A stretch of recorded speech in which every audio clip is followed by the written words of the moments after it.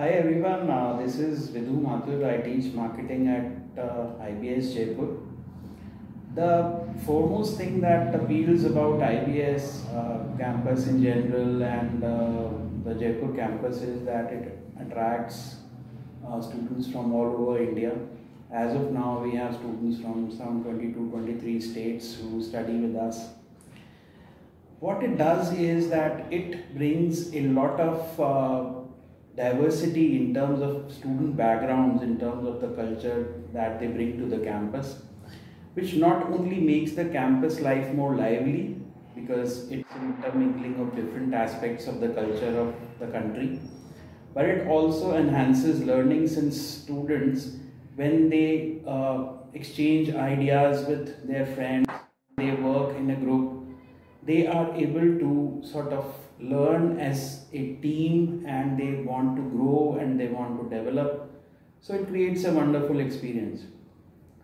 Secondly, what I like about IBS is that uh, since IBS is a uh, national level institute in uh, India which has several campuses, IBS curriculum is national in its character.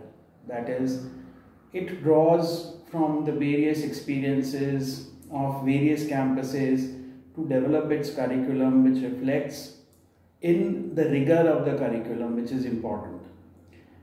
So when we compare IBS to a regional level uh, institute, what I find is that the curriculum is more robust and it gives a lot of emphasis on student learning.